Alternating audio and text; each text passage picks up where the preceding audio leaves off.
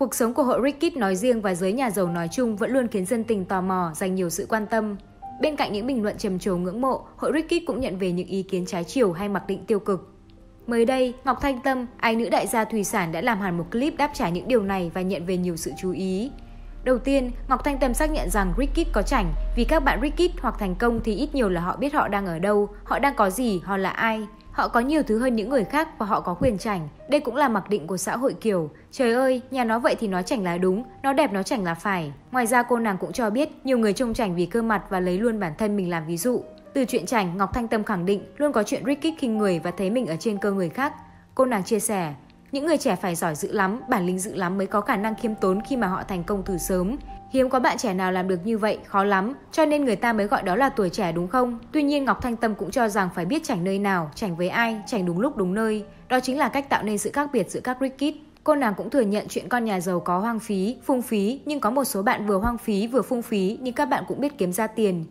Về bản thân mình, Ngọc Thanh Tâm cho biết mình không thuộc kiểu mua hàng không thèm nhìn giá. Thay vào đó, những món hàng hiệu vẫn hay unbox là mua sau khi đã check giá, nơi chốt mua là nơi có giá tốt nhất.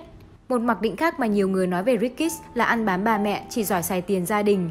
Với điều này, ai nữ đại gia thủy sản khá thoải mái. Cô cho rằng nhận đầu tư hay dùng tiền của ba mẹ không có gì phải ngại, bởi lẽ ba mẹ đã phải làm việc mấy chục năm trời để cho con có tiền tiêu xài, nhưng vấn đề nằm ở việc sử dụng như thế nào. Ngọc Thanh Tâm cũng cho biết những Rickit biết sử dụng nền tảng và bệ đỡ từ ba mẹ, gia đình có thể sẽ đi trước người khác cả chục năm. Về chuyện con nhà giàu học dở, Ngọc Thanh Tâm phải thốt lên, các bạn ơi, các bạn nghèo cũng có bạn học dở mà.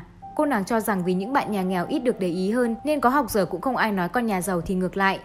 Ngoài ra những bạn nhà giàu còn cần cố gắng học giỏi vì phải kế thừa và phát triển công việc của gia đình. Nếu bố mẹ có để lại tiền túi, tiền tấn mà mỗi ngày bạn lấy một miếng thì mãi cũng hết à. Ngọc Thanh Tâm được biết đến là cô gái mạnh mẽ, thẳng thắn, nhiều lần bày tỏ quan điểm riêng mà không ngại đụng chạm ai. Điển hình như lần cô đăng đàn trên Facebook bức xúc vì các sắc quấy rối tình dục trong chương trình Shark Tank nhưng dân mạng coi nhẹ. Cụ thể, trong tập 2 Shark Tank mùa mới nhất, Shark Phú đã rót vốn cho Thu Hằng, CEO của startup WeBike và gây ra tranh cãi. Nhiều người cho rằng các cá mập trong chương trình đã có những phát ngôn chưa chừng mực, có hơi hướng quấy rối tình dục đến người tham gia chương trình. Cụ thể, Shark Phú đã có những câu nói gây chú ý như anh chỉ mải nhìn em nên chẳng thấy gì ở chiếc xe cả.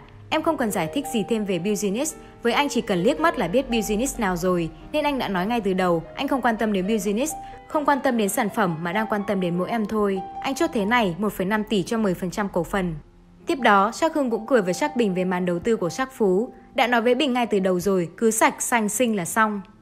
Ngay lập tức, đoạn hội thoại này của các Sắc đã xảy ra tranh cãi đầy lửa trên mạng xã hội.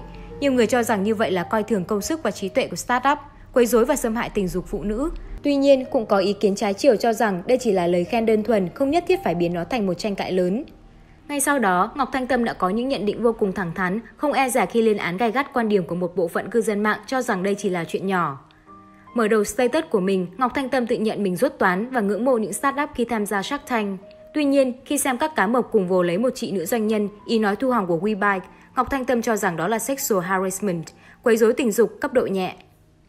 Ngoài ra, cô cũng tỏ ra bất ngờ khi nhiều cư dân mạng chỉ thấy việc đùa cợt phụ nữ là sai khi các sắc đã có vợ, còn sắc nào độc thân vui tính thì không thành vấn đề. Không những thế, cô cũng bức xúc khi có nhiều người quay sang chê bai ngoại hình của người đi gọi vốn. Cô khẳng định nếu tập này mà phát sóng ở Mỹ thì làn sóng phản đối thậm chí còn gai gắt hơn nữa. Ngọc Thanh Tâm bức xúc, sạch, xanh xinh, không biết các sắc bồ này lấy quyền gì để nói như thế. Quan điểm của Ngọc Thanh Tâm nhận được đông đảo sự đồng tình của netizen.